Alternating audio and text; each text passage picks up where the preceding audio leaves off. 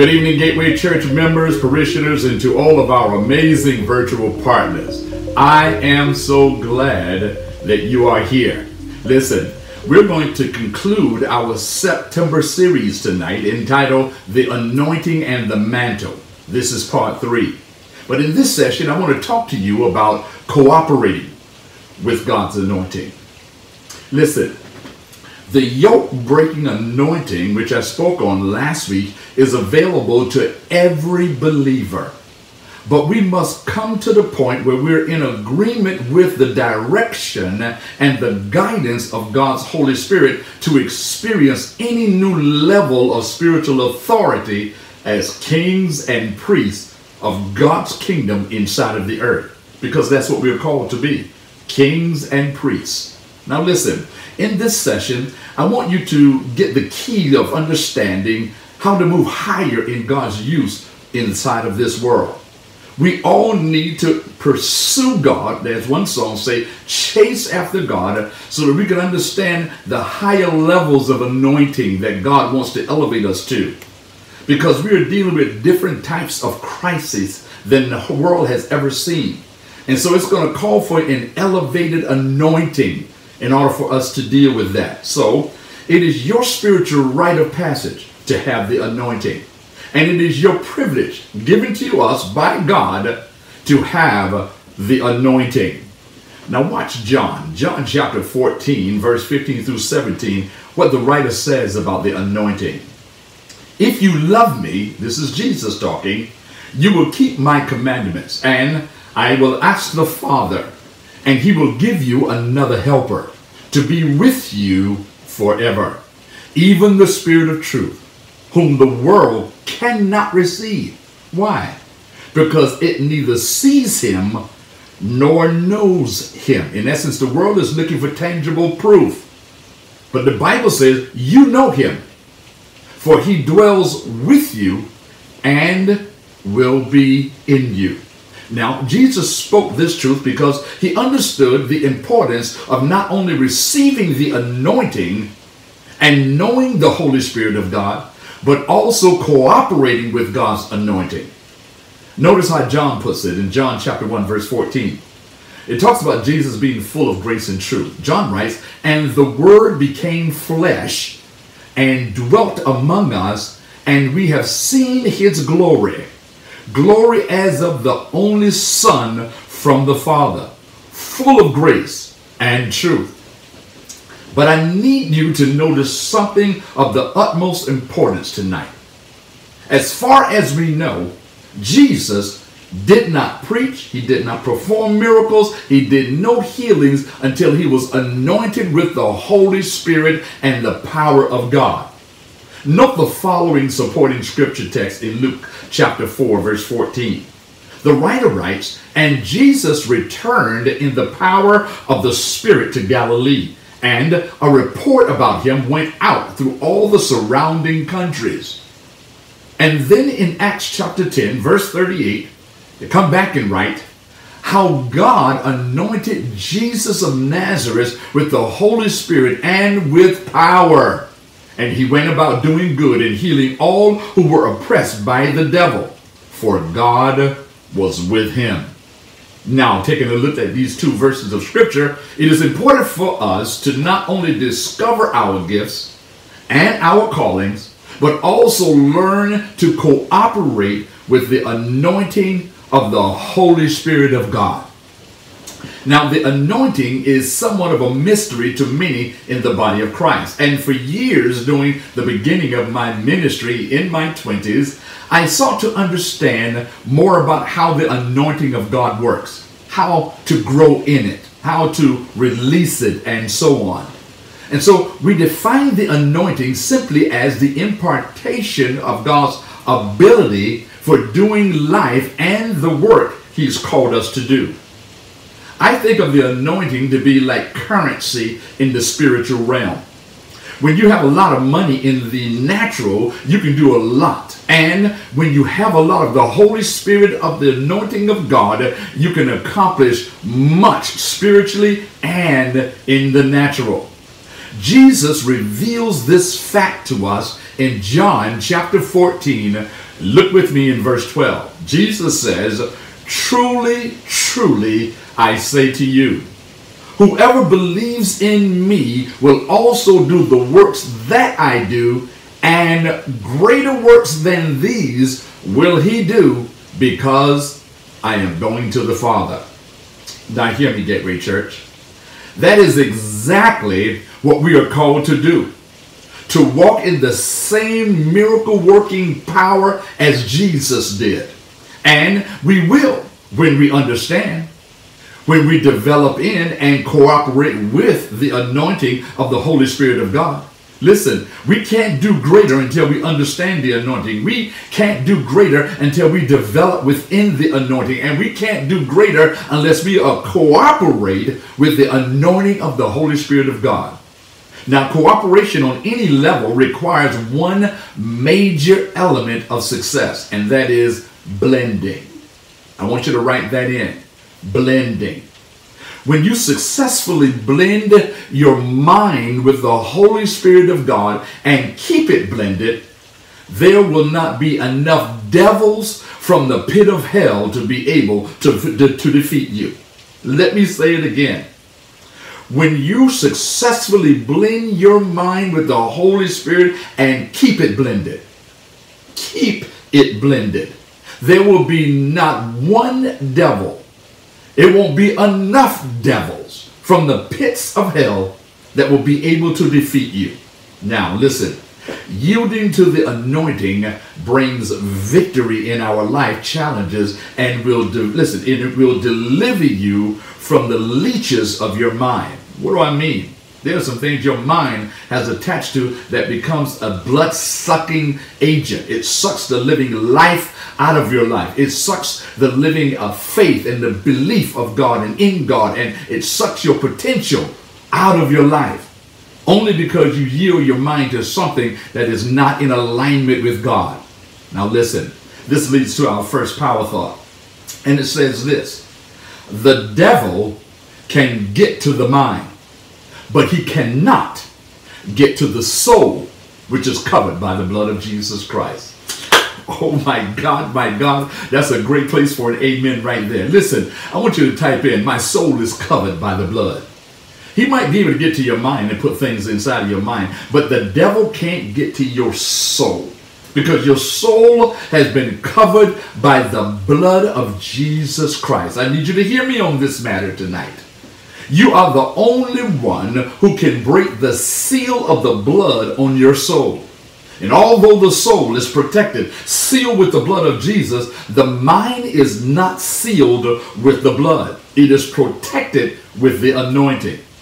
The anointing, my dear friend, makes the difference between whether you're successful or not.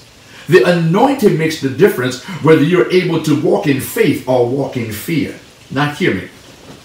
The degree of protection you have for the mind depends upon how much you cooperate with God's anointing and how much of the anointing you use in your life experiences. The Holy Spirit's anointing is purpose to give you God's power, to give you God's peace, to give you God's joy, and to give you clearness of mind. That's one of the reasons. These are several reasons why God wants you and desires for you to have uh, the anointing that comes only from Him. However, if you do not cooperate and allow His anointing to use you, you will not experience any of its benefits the greatness of God in the soul will not work for you unless you blend your mind and cooperate with the Holy Spirit so God can serve the mind with this. So God can serve the mind what is inside of the soul. What is inside of the soul? Greatness. The greatness of God is inside of your soul. And that is the reason why you got to make, uh, you have to force your mind, you've got to submit your mind to cooperate with the Holy Spirit of God because God want to pull greatness out of your soul and put it inside of your mind. My God, my God, so that your mind can serve with greatness. Hear me. Why do I say that when we cooperate with the anointing, the Holy Spirit serves the mind with the greatness that is in the soul? Well, here are three reasons. Three reasons. Hear me now. And first of all, the eternal soul from God is the reservoir for the mind. It's the storage tank, so to speak. There is no limit to the capacity of the soul. Let me say it again. I need you to hear me tonight. There is no limit to the capacity of your eternal soul because it is eternal and because it is spiritual. It can hold all of the Godhead and all of heaven. Oh my God, listen, that's why Jesus said the kingdom of heaven is within you. How can you say that? Because the soul encapsulates and it cannot, listen, it has unlimited capacity. And so when the kingdom of God came inside of your soul through Jesus Christ, because it's unlimited in its capacity, is able to hold the kingdom of God and the Godhead. That's why the Bible says that I am in the Father, the Father is in me, you are in me, therefore we are one, and it's all inside of you. Imagine that. Godhead inside of you. The kingdom of heaven is inside of you. Now watch this now because you need this because this is going to be very important. Secondly, the Holy Spirit comes to serve. Watch this. To see that the love of God is shed abroad in our hearts by the anointing. First and foremost, love. Everything we do in this life on behalf of the kingdom must begin with love. Why? Because before God sent his son, he loved the world so much. While we were yet sinners, he loved us so much, he wanted to reconcile us to himself. He sent his son. So when the Holy Spirit was sent, the Holy Spirit comes to serve and to see that the love of God through us is shed abroad in our hearts by the anointing. That's what Paul said in Romans chapter 5, verse 5. He says, And hope does not put us to shame, because God's love has been poured into our hearts through the Holy Spirit who has been given to us. Listen, we can't even love right without the Holy Spirit. All of our love is conditional. But when you get the Holy Spirit of God and you get God, you get God love, that's a that's agape love. Agape love is unconditional love. It comes with the grace of God just sprinkled all over it, saturated in it. The Holy Ghost sheds abroad the love of God from our souls into our minds. Listen, we can't even love right until we allow it to move from our soul to our mind. The Holy Spirit of God, the love of God coming from our soul and moving into our mind. And without the anointing, we are incapable of loving in the same manner as God. When the life of God, when the Holy Spirit is in your soul, my dear friend, heaven rejoices. But the soul is hampered and hindered if the mind do not have a good blend daily with the Holy Spirit. It is handicapped to you and it is a handicap to God. That's why you must blend your mind with the anointing of God's Spirit. Now, this lack of blend and cooperation with the Holy Spirit ties the hand of God in our lives. It is essential that the blend of your mind and the mind of the Holy Spirit be unwavering and that it cooperates with the leading of the Holy Spirit, which is based on God. Now, watch this the Father's will and based on the Father's plan. The Holy Spirit comes to do not its own will, but do the will of the Father in our lives and inside of this world. Not to bring its own plans, but to bring the plans of the Father into our mind, our heart, and then to the world. Watch this now. Again, cooperation is dependent on blending. Say it again with me. Cooperation is dependent on blending. Now, to blend means to mix, means to unite, to go well together, to harmonize which is a great transition to our third point tonight. Thirdly, the anointing comes to unite our minds with the mind of the Holy Spirit, to harmonize, to mix, to blend with the living Word of God. Blending with the Holy Spirit produces a desired quality, the quality of the mind that the Lord had predestined and planned for us. Now you have to check yourself. Can you say tonight that the quality of your mind is, is right in alignment with God's word, that it, it needs nothing more?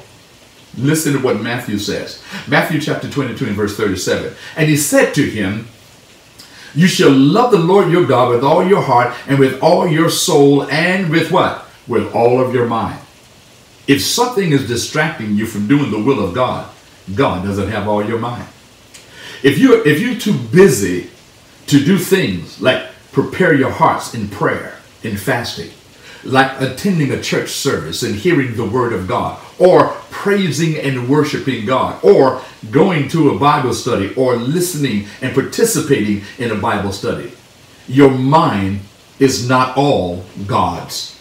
Remember what this remember this phrase, with all thy mind. God doesn't want part of your mind. He wants all of your mind.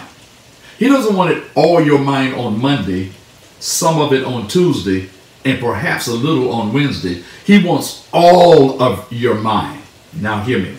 You must love God with all your mind, not with just your soul, not with just the spirit within you. You got to love him with all of your mind. In other words, have a love mind. I want you to type that in.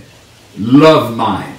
You cannot carry hate, grudges, anything else foreign to the Holy Spirit and still have a love mind. I think that bears repeating. You cannot carry hate, grudges, or anything else that's foreign to the Holy Spirit and still have a love mind. God loved and he gave his son. Jesus loved and he gave his life. You see, love produces. Love produces greatness. It is with Jesus' love mind that his blood was shed for all of the world. The shed blood of Jesus Christ protects the soul. Never forget this. Don't ever forget this truth. The love of Jesus was the thing that carried him to the cross.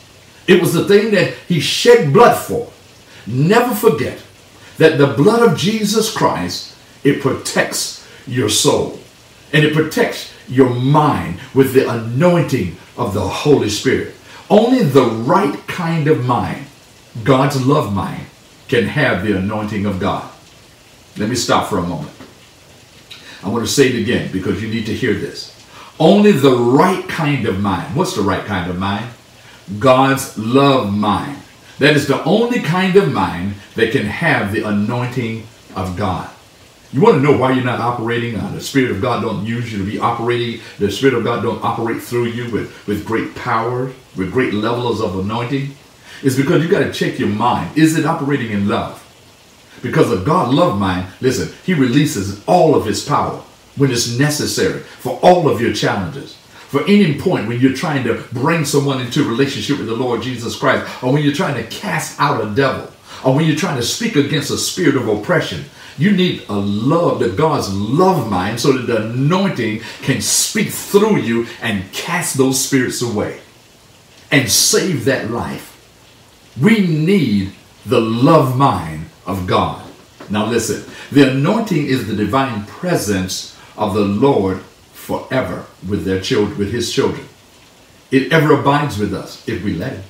Listen, but many Christians have fallen short of the glory of God and are falling in, and they are failing rather inside of their assignments. They're failing in their calling. They're failing in their ministry to the world because they did not have a love mind. They have not left their minds with God as they should have, not kept them in shape for the Holy Spirit to use them and they have walked with difficulty along with God's spiritual journey. They have walked crippled because they failed to have a love mind. The mind of the Holy Spirit and your mind are meant to blend in perfection. And this is not difficult. Please hear me. This is not difficult if you yield the mind to Him, your mind to Him, and cooperate with His anointing. All it takes is submitting. The anointing of God is the presence of God with us and in us. The Lord wants us to remember Him. And I believe that the worst sin in this world is forgetting God. Come what may, the worst sin in this world is forgetting God. The Lord made Adam and Eve with minds that could reason and think and remember just like God's mind. But their minds, of course, were not as powerful nor as great. Notice power thought number two. It says, God didn't intend minds to be equal to his. He meant for them to cooperate with his. Oh my God, my God, my God. Listen, I need you to embrace that tonight. God didn't intend minds to be equal to his. He, he meant for them to operate with his. Again, that's a statement of cooperation. In essence, we have to stay plugged into God's mind at all times. Man's thoughts were always to be as pure as God's thoughts. His mind to function in perfection with God's mind. Listen, God would come down in the cool of the day to walk with Adam and Eve and to talk with them. Today, it is through the blood of Jesus Christ that we have fellowship with the Lord. He lives within us. We don't have to wait until the cool of the day. We can wake up in the middle of the night and talk to our Lord God. We can listen as we as we move throughout our day, every day, we can just take a break and just talk to God. While we're driving in the car, we can talk and commune with God. You know why? Because the blood of Jesus gave us that privilege. The blood of Jesus gave us life, took away all of our sins, cleansed us, uh, cleansed our soul and our mind and our body so that we are in divine posture to cooperate with the anointing of God's Spirit so that we can accomplish, watch this, great exploits, both spiritually and naturally. In Daniel chapter 11, verse 32, section B of that particular verse, the Bible says, But the people that do know their God shall be strong and do exploits. This is a great promise, and this is one of the most courageous verses in the Bible. It, it is based on the word do. It's based on that word, and the people that do know their God shall be strong and do exploits. My God, my God. Listen, this word implies cooperation resulting with actions. Are you hearing me tonight? We, listen, when we cooperate with the anointing that is within us, the Holy Spirit will release healing, it will release deliverance, it will release guidance and protection into our lives. Cooperation. It teaches you what is from God and what is not God the Holy Spirit and the anointing of God. And it protects you from all deceptions of the enemy. The anointing within teaches you concerning all things that pertain to spiritual and natural life, and the anointing equips you to be well-rounded persons in the body, in the soul, and in the spirit. The more sensitive we become to the anointing within, the more settled established and grounded that we become in God. The anointing within also enhances our ability to discern and to cooperate with the anointing that comes upon us.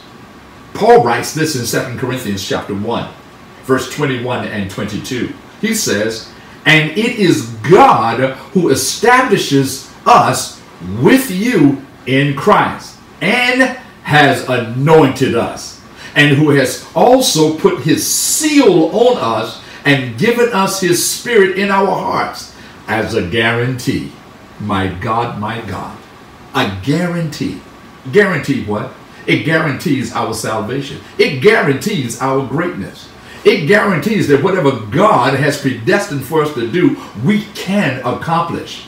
My God, listen, I don't have to worry or fear about my ministry assignment. I walk in destiny. And that destiny is covered by the blood of Jesus and covered with the anointing of the Holy Spirit of God. I will achieve. And I want you to write that inside there. I want you to declare it, as a matter of fact, in the atmosphere of your home when you're watching right now. And I want you to type it in, in the name of Jesus, because of the anointing and the blood of Christ. I will achieve everything that God has predestined for my life. I will not be afraid. I will not be ashamed. I will not turn my back on God. I will keep moving forward toward one success after another as I face the challenges in life. I'm coming on the other side a victor. God have mercy on our soul. Can you just give God a clap offering and an amen right there? Now, the Holy Spirit is the spirit of newness. So each day we can be renewed and refreshed in the anointing by only receiving it by faith and allowing it to flow as never-ending rivers inside of our souls. That's what I look about, love about David. So every single morning he wakes up. This God's grace and his mercy, and I dare say his anointing is renewed afresh inside our spirit. Every day we need to wake up confident knowing that God has refreshed us and so as some final thoughts tonight, I want you to just type in, I'm cooperating with the anointing. I'm going to pause for a moment. I want you to type that in. This day, I'm cooperating with the anointing. The reason why I want you to type it in and I want you to come into agreement with yourself and with the Word of God because we are in a season right now where people are being promoted to, to, to new levels of spiritual authority as kings and priests in God's kingdom. They will carry. I'm going to prophesy this inside of your spirit and prophesying it inside the world because we are living in the last of the last days this new this new level of anointing that's going to come on people they will carry so much of the glory and the presence of God upon them that demons will flee at their presence. They will live and move in a very high level of kingdom power and influence. And you know why I say that? Because I want you, I want to, but I want you to go to the next level of anointing. I want you to go to the next level of authority. I want you to be dangerous for the kingdom of God inside of the earth. I want you to get the keys to the key, keys of the kingdom, unlocking binding spirits in the earth and unlocking blessings in the heavenly upon this earth. I want you to have the key to moving higher as we begin to do great things uh, for God in the, in the Gateway Church tonight. I want you to be a vessel that God can use to do extraordinary things. I've expounded on these truths tonight in this teaching that's set on the heavenly mantles over this past month. And I want you to take it serious because every single one of us have a mantle in our on our life. We have a responsibility to God. We have a responsibility to do great works on behalf of the kingdom.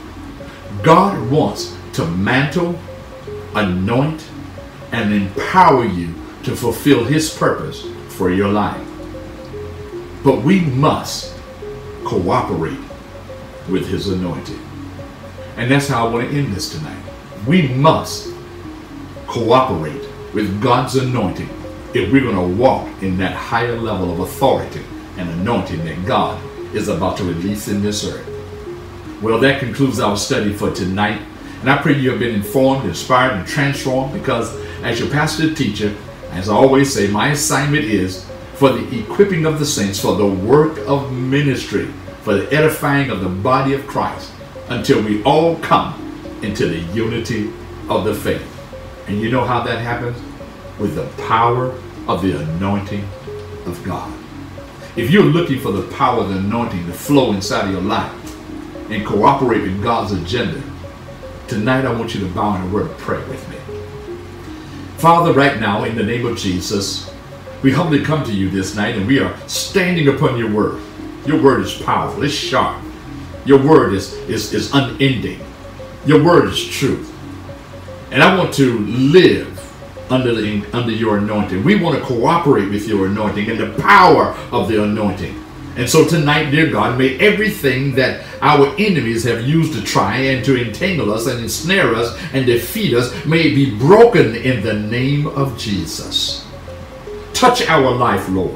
break the yokes of bondage in our life, and set us free to do your bidding in the earth. Father, we pray that every enemy of our destiny, by this anointing, lose their power in the name of Jesus. Father, we pray that every chain hindering us from fulfilling your destiny be broken in the name of Jesus tonight. And God, we receive a fresh anointing with a fresh empowerment tonight to do great exploits on your behalf for the kingdom of God. Father, in Jesus' name, right now, everyone under the sound of my voice, may they receive a fresh anointing right now, right where they are, in the name of Jesus. If you're in your living room, receive a fresh anointing and power of God. Let it rush over your life and may it be imparted inside of your spirit and your mind if you're in your car, outside, no matter where you are, if you're listening, may a fresh anointing fall upon you right now in Jesus' name. Because there are great works for us to do. And we need the power of the anointing of God. Thank you, Father, for meeting all of our needs. Thank you, God, for protecting us. Thank you, God, for the provisions. Thank you, God, for the purpose that you've imparted into all of our lives. Now where we stand and walk in destiny put our hands on the plow and be ready to work until you call us home. In Jesus' name we pray. Amen, amen, and amen.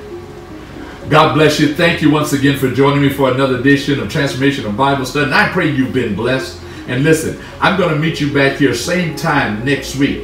And I want you to come prepared to study because we're going into a new series. I'm not going to tell you what it is yet. You just got to tune in. But can you do something for me before I let you go? Why don't you share this with someone? They need to hear this word tonight. I'm sure they're going to be blessed as you were blessed. And so I will see you next week, same time, same place. And never forget, listen, you are the most awesome people in all of the world. And Lady Kathy and I, we love you dearly. And there's nothing you can do about it. God bless you. We'll see you again soon. In Jesus' name.